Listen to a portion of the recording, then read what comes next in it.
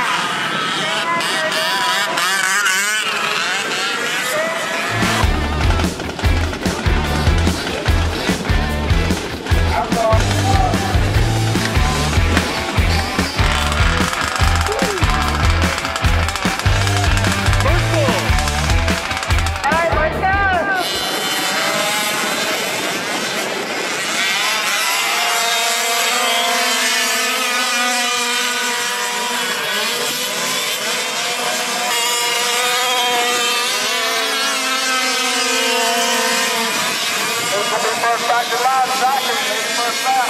David, Stan, Michael.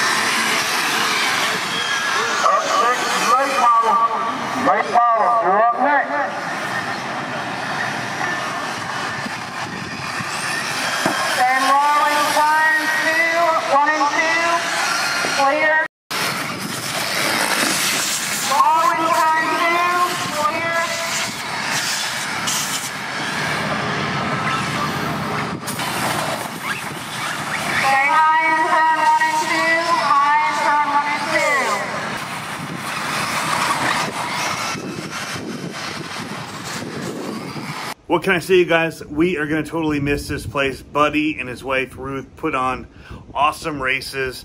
They're going to continue putting on awesome races. We're just going to be a lot further away from them and not able to come as often. So, um, yeah, hopefully we will be back at some point. Uh, be able to do a little RC tour back down in this way again. Um, try and hit there when we're coming for some other reasons. But um, if you uh, guys are looking for a place to race near Hampton Roads, Virginia, um, Moyock, Elizabeth City, North Carolina, and people drive from all over. Actually, you know, we had people there from West Virginia today- so you can come from anywhere to race there. It's worth it. Awesome track, awesome people, and um, I'm really gonna miss this place.